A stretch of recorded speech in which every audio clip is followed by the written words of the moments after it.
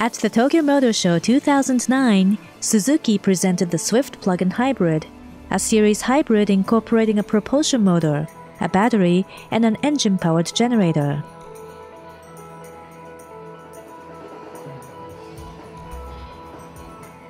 えこの車のコンセプトは、日常の生活の中で必要な最小限の距離を電気自動車で走行するということを基本コンセプトとして開発されておりますこのエンジンルームの中にですね、えー、駆動用のモーターそして室内のセンターコンソールに、えー、リチウムイオンバッテリーを搭載いたしまして、えー、充電した電力を使って、えー、必要最小限の距離約20キロぐらいを想定しておりますけれどもこの距離を走行いたします When the battery runs low, an engine of a kind usually used in many vehicles powers the generator that charges the battery.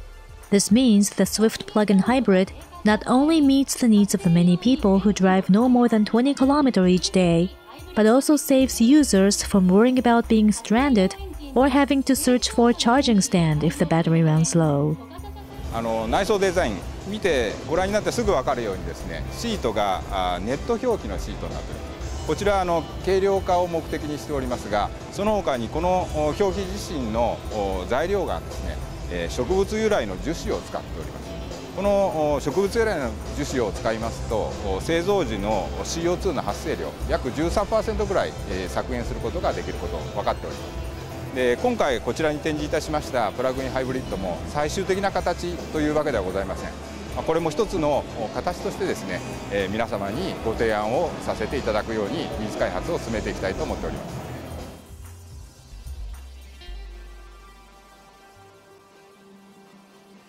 Digging for News